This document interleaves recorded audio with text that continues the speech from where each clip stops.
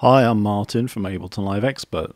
Today we're looking at the iConnectivity iConnect Audio 4 Plus audio MIDI interface for Mac, Windows and iOS. The box contains the unit itself, a mains power supply, a USB cable and a lightning to USB cable for your iOS devices. You can also purchase an additional older style 30 pin cable separately if you need one. The 4 Plus is encased in a what looks like a pretty tough metal shell and it should be very durable for gigs. The front panel features four combi inputs that will take XLR or quarter inch jacks and they'll accept microphones, guitars or line inputs. You can use the touch display next to that to select the various inputs and outputs and use the large knob at the right to adjust their levels. That's the only physical control on the 4 Plus. The back panel, we have mains power input, host USB, which is for connecting MIDI controller devices, two USB inputs for computers or iOS devices, MIDI in and out, four audio outputs, and a headphone out. You'll also want to install the free iConfig software, which gives you every possible option for controlling and routing your connections between devices. Truthfully, well, for somebody like me, I would never come close to using all of this functionality, but I'm sure a lot of people will be glad to have it. During this review, I found the audio mixer was the most useful section. The 4 Plus is class compliant for Mac users. For Windows, you just need to install a little driver. And this is how it shows up inside Live's audio preferences. For this test, I used this live set to host some software sounds and to handle audio MIDI routing to and from some separate bits of hardware, which you'll see in a minute. Let's try it now. Here's the 4 Plus. Right here it's working as a basic audio interface. It's connected by USB to the Mac. The other output here is just for my headphones for monitoring. There's a track here that's resampling all of the other outputs to capture audio for this movie. I have a drum rack in live with a MIDI clip. Let's just launch that first to make sure everything's working.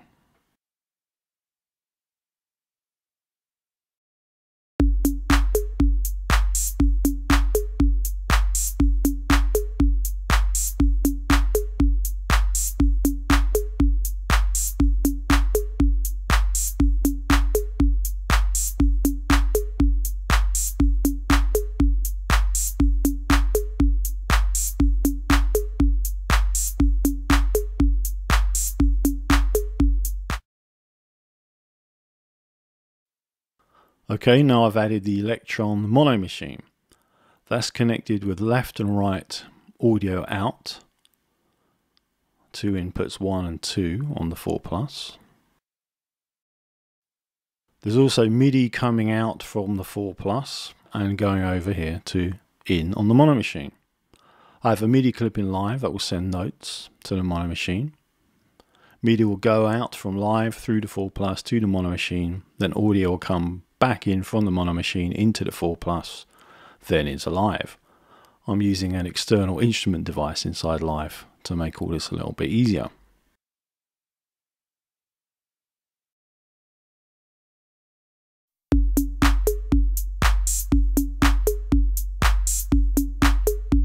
There's the drums. Then we'll launch the scene with the mono machine clip.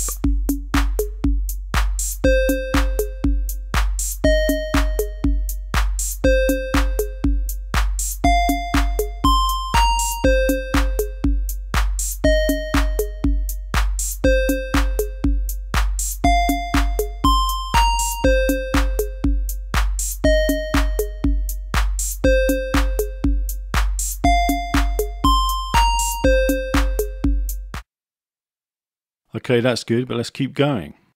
Now I've added the iPhone 6 Plus with the Moog Animoog synth app. That's connected just with the lightning cable, which is sending MIDI to the app and sending audio back from the app to another track inside Live. Only one cable needed. I don't know if you'll be able to see on here, but the clip is also sending envelopes to the filter inside the app. Let's play that now. There's the envelopes.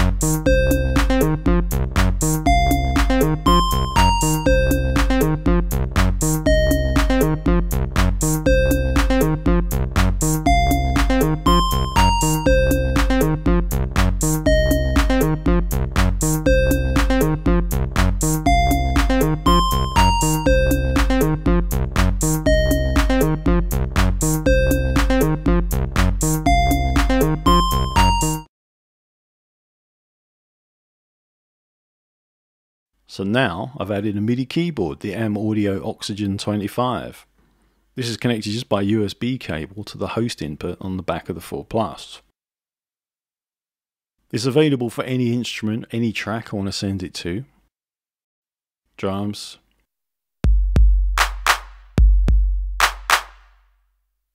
Then just arm another track. Oops, got both going at once there. Hold on.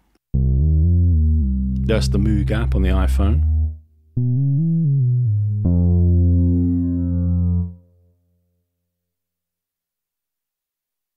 And finally, the mono machine, of course. Love that thing.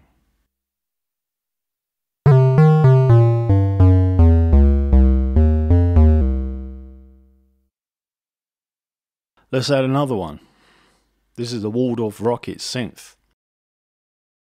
There's a USB cable here which is connected to the Mac. That's just taking power from the Mac.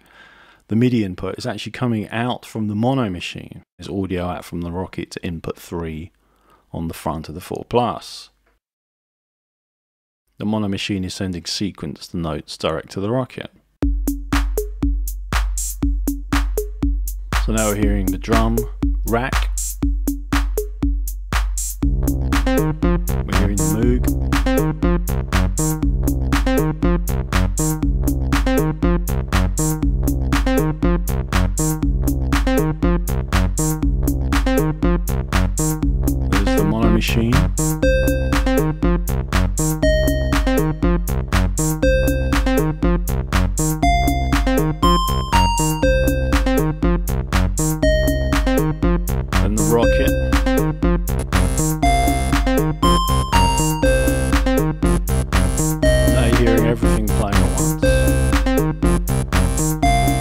Said, the CC's going to the app as well.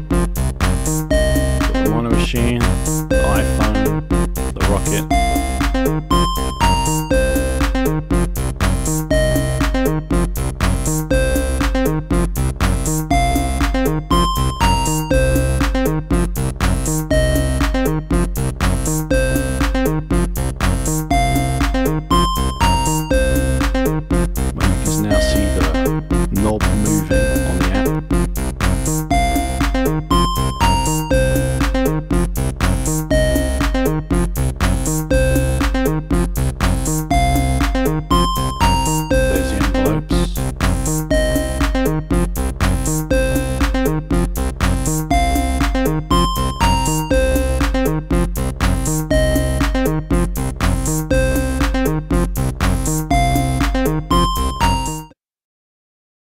Okay, that's good, but the 4 Plus also works in standalone mode, so here we're running it without a computer. That's why it has mains power. We're sending using the iPhone 6 with the Tenori-on app and the Mono Machine. We're sending MIDI through the uh, lightning cable to the 4 Plus. That's sending MIDI out then to the Mono Machine. We've got audio outs from the Mono Machine, which could go back into the 4 Plus, uh, although right now they're going into my audio recorder to capture the output for this demo. The Tenori-on has 16 layers and each layer sends on a different MIDI channel. It's very easy to get something going in relation to the Mono Machine. Of course, let's not forget the Mono Machine has a fantastic onboard sequencer as well.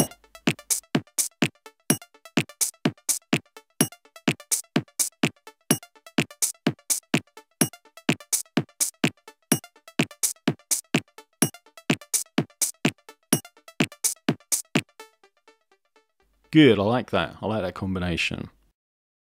So I hope it's given you some idea of how useful the iConnect Audio 4 Plus can be if you need to connect and route a lot of disparate bits of equipment. The iOS integration is really useful. It charges devices at the same time, but more importantly, it makes your iOS devices feel like touch controllers for plugins.